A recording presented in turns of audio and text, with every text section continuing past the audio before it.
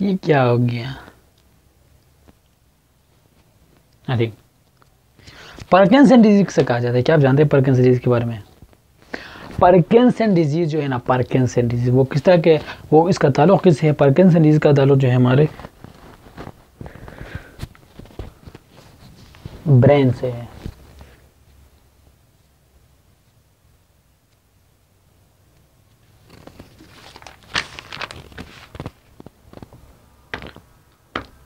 جو دماغ میں خلیات کے تعلی عمل کے باعث ہوتی ہے یا پھر دماغ کے بیسل گنزلیا کے نسیجوں کو کسی نقصان پہنچنے کے باعث واقع ہوتی ہے، اس بیماری کا آغاز ہاتھ، پیر ٹانک اور ان کے حل کے کیا ہوتے روشت سے ہوتا ہے جو آرام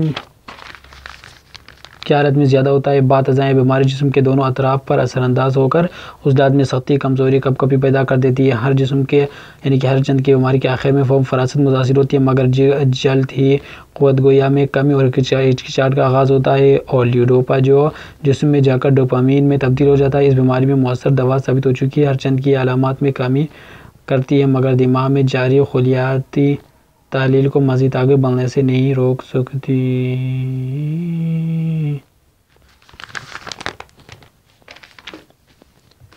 سوئی پرکنسن ڈیزیز جو ہمارے برین سے تعلق رکھتی ہے اور اس کے مختلف قسم کے علامات ہے اور اس کے علاج کیا کس طرح کیا جاتا ہے ان کے بارے میں آپ کے ساتھ شیئر کروں گا نیکسٹ ایپیسوڈ میں۔